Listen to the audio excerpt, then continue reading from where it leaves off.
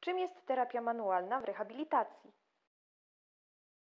Terapia manualna jest to ogólne stwierdzenie, y, które dzieli się innymi na mobilizację, manipulację, na techniki na tkankach miękkich. To jest wszystko składa się w szereg nazwy terapia manualna. Na czym polega mobilizacja w rehabilitacji? Jest to szereg czynności manualnych mających na celu przywrócenie ruchomość stawów obwodowych, jak i stawów kręgosłupa.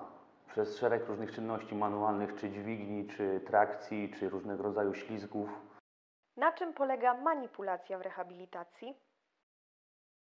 Manipulacje są to już e, gwałtowne i szybkie ruchy mające na celu odblokowanie zablokowanego stawu w zależności na długiej lub krótkiej dźwigni. Jest to gwałtowny ruch, który ma za zadanie uruchomić nam konkretny staw. Szczególnie wykorzystywane są przy k- terapii na kręgosłupie, jak również i na niektórych stawach obwodowych.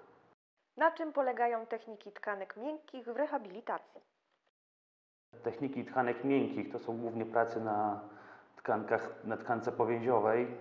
Mają na celu uwolnienie jej, czyli udowolnienie, jednocześnie uwolnienie mięśni i zakresów ruchów dla danego stawu lub dla ogółu w ogóle organizmu, dla całej sieci połączenia mięśni i stawów, np. kręgosłupa czy całej kończyny dolnej.